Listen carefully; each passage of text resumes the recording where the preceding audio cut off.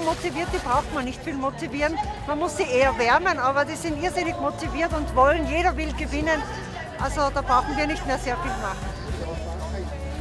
Die Stimmung ist grandios. Gestern schon beim schönen Wetter und auch heute. Das Wetter spielt keine Rolle. Die Stimmung ist großartig.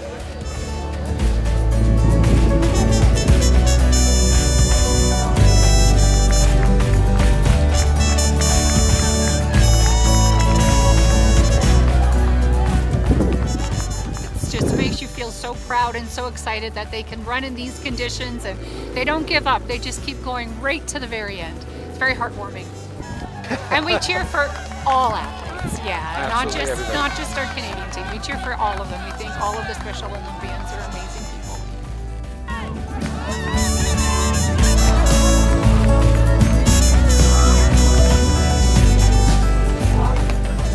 I'm going to push through and do my very best and that's what I'm here for. And I know they've been proud of me already, but I'm going to make them even more proud. So thank you all for giving me this opportunity, and we'll see you in the races.